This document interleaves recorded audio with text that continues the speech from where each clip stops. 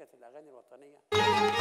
غالي عليا وضيع عليا ارحم عذابي معك على قد الشوق اللي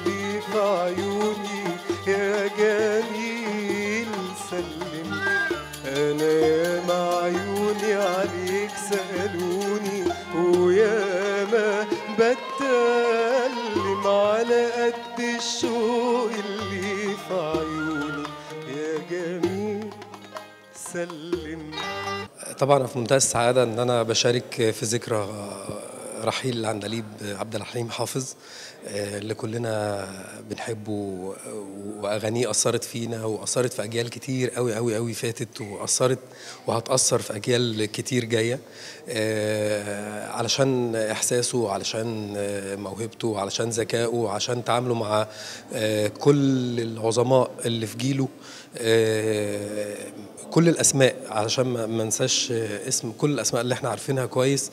آه، طبعا المشاركه النهارده شرف كبير ليا جدا إن أنا أشارك آه، في الاحتفالية دي. احتفالية عظيمة جدا لحد أنا بحبه قوي قوي آه، المشاركه لي أنا وهاني عامر. وإن شاء الله نختار آه، بعض الأغاني ال- آه، يعني ممكن تكون آه، ناس آه، بقالها فترة ما سمعتهاش وفي أغاني تانية آه، اتسمعت. آه آه، آه، في يوم في شهر في سنة أنا بالنسبة لي أول مرة أغنيها النهاردة على المسرح. وأول مرة أغنيها مع مع الفرقة بتاعتنا والفرقه النهارده مكونة من هو هو تخت صغير مش فرقة كبيرة بس هم كلهم أعضاء كبار جدا جدا جدا ومؤثرين جدا جدا في في في في, في كميوزيشنز يعني في في في الفرق. في فرق الموسيقى العربية والفرق التانية آم، معظمهم آه، أساتذة ودكاترة في آل- في آلاتهم وأنا سعيد برضو إن أنا بشارك معاهم وبشكر طبعا الدكتور عبد الوهاب آه، على الترشيح آه، في الحفلة النهاردة وإيه؟ هغني إيه تاني؟ آه، أنا هغني على قد الشوق وهغني الليالي وهغني قول لي حاجة وجنى الهوى و عبد الحليم حافظ ومعنا استاذنا الكبير الإعلامي الكبير وجدي الحكيم وأستاذ مفيد فوزي. والنهاردة أنا هقدم آه، مجموعة من الأغاني ال- الخفيفة والمحبوبة لدى المستمعين. آه، هي قولوا له الحقيقة وبتلموني ليه وبحلم بيك. وفي يوم من الأيام والهوى هوايا وأحلف بسماع. البنداري ده يعشق شيء اسمه عبد الحليم؟ وكان يكتب عنه بغزارة غير معقولة. أنا فاكر إنه عبد الحليم يعني صديق صديق يعني. فاكر إن هو يعني اللي حصل بيني وبينه هو زي ما يكون شكل من أشكال التماس الإنساني.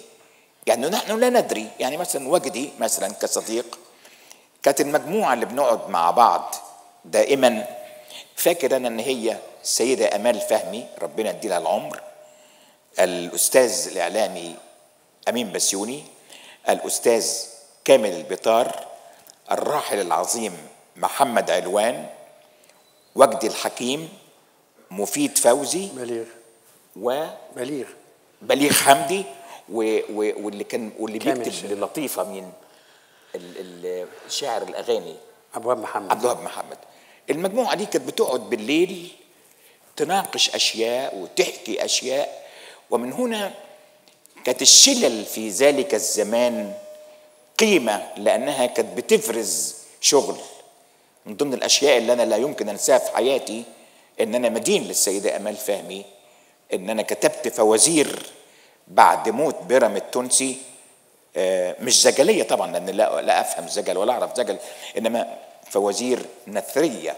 كنت أول مرة في حياتي بسمع اسمي بيتقال في الراديو الذي يكتبها مفيد فوزي وتقدمه آمال فهمي. عشنا هذا الزمن. أنا فاكر إن عبد الحليم في يوم من الأيام لما أنا اتوقفت عن الشغل ما لقيتش مكان في مصر أروح وأبكي على صدره إلا هذا الفتى النحيل العندليب. رحت له الساعة 12 صباحا وقعدت في الأوضة اللي جنب سريره جنب أوضة النوم لغاية ما صحي صحي تقريبا واحدة ونص اتنين ندى مين يا عبد الرحيم؟ قال له ده الأستاذ مفيد.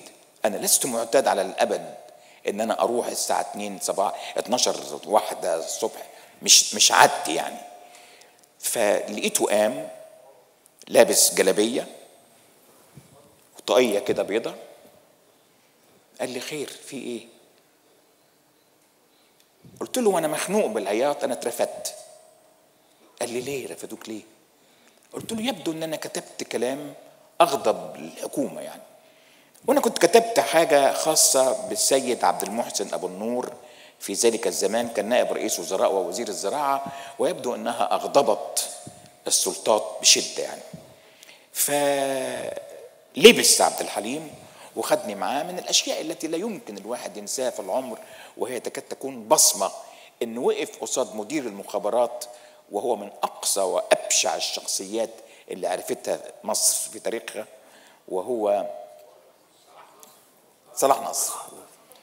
صلاح نصر لما وقف قد... وقفت قدامه في أوضته فعبد الحليم قال له الجملة الشهيرة اللي تكاد تكون انطبعت في قلبي وفي عقلي وفي كياني واللي تبين إنه عبد الحليم لم يكن مجرد شخص عابر عادي في حياتي مثلا أو في حياة وجدي إنما كان حقيقة يعتبر الصديق الصديق وهو عبارة أنا دايما أقولها ودايما تقولها لي سعاد الصباح الشاعرة الكويتية الكبيرة لما تكتب في الإهداءات إلى الصديق الصديق. قال له إذا كان مفيد فوزي عمل حاجة ضد مصر يبقى عملها في بيتي وإذا كان كتب منشورات ضد مصر يبقى كتبها في بيتي. فصلاح نصر بص له من ورا الدخان كده وقال له الكلام اللي انت بتقوله ده كلام هتتحاسب عليه ده خطير. فقال له يا صلاح بيه أنا مستعد أكتب إقرار بهذا. أين هذا النموذج؟ بدءا من صادق أعتقد إنه هو خد من الأستاذ عبد الوهاب حاجة مهمة جدا وهي الثقافة السمعية. الأستاذ عبد الوهاب كان دايما عنده صالون يجتمع فيه كل مجتمع الصفوة من المفكرين وتعلم الحكاية دي من الأمير الشعراء لما تربى في بيته. فكان مجتمع الصفوة ده لما يقعدوا يتكلموا مع بعض كأنه قرأ عشر كتب. وبالتالي كان دايما لما نروح يقول لنا كل واحد فيكم يخرس سيبوهم يتكلموا مع بعض. اوعى تحاول تسأل في أي حاجة سيبوهم هم يتكلموا تقعد تسمع بس. وبالتالي عبد الحليم اتربى على الثقافة السمعية واستفاد منها. عبد الحليم استفاد من علاقته اولا كبار الصحفيين في مصر كان بالنسبة لهم عبد الحليم ابنهم اللي بيرعوه اللي بي- بيحظى برعاية خاصة منهم. عشان كده كان بيستثمر هذه العلاقة في إيه؟ قبل ما يجي يعمل غنوة ل- لغنوة وطنية يمر يفوت على الأستاذ هيكل يقعد يتكلم معاه وياخد الأرضية بتاعة المرحلة وظروفها إيه ويخرج من الأستاذ هيكل على الأستاذ إحسان على فتحي غانم على مصطفى أمين على أحمد بهاء الدين وفي الآخر يكون الحدوتة اللي هيعملها. أنا أعتقد إنه يحسب له أنه أول مطرب عمل محاضرة في غنوة. لما جه يعمل حكاية شعب آه، كل الأغاني اللي أنتجناها في الإذاعة أغاني بين الكهرباء والخير اللي يجي ويعني يعني هو سد ولكنه يفتح باب الرزق وأغاني عظيمة جدا تتغنى للسد. إنما هو أصر على إنه جاب الأستاذ أحمد شفيق كامل وقعد معاه وقال له ان إحنا عايزين نعمل تجربة محاضرة. إن أنا بقول للناس مش مجرد بطلع أغني غنوة. إحنا عايزين نقول لهم إيه الحكاية دي؟ الحكاية كانت كلها ماشية سليم لحد ما جينا وقفنا معاه عند جملة ضربة كانت من معلم خلى الاستعمار يبل كل المسؤولين قالوا ال- يعني الجملة دي لا يليق إنها تتقال لأن ممكن الرئيس عبد الناصر بمكانته بال- بال- بالهيبة الكبيرة بتاعت حضوره صعب إنك تقول معلم يعني. هو هاودنا وعمل البروفات مع إنه وتخطى الجملة دي لكن في الحفلة كان مرتب نفسه تمام. وقالها وإذا بالرئيس عبد الناصر يصفق تصفيق حاد ويطلب منه إن هو يعيدها. وبقت الغنوة دي غنوة الشارع المصري. تاني يوم كانت أغانيه مجرد ما تطلع غنوة وطنية له بتبقى غنوة الشارع المصري تاني يوم. من هنا كانت قيمة عبد الحليم واستفادته من آه، يعني كبار الإعلاميين اللي كان بيحرص على علاقته بيهم لأن كان جواه إحساس بأن هو يستطيع أن يدير نفسه إعلامياً.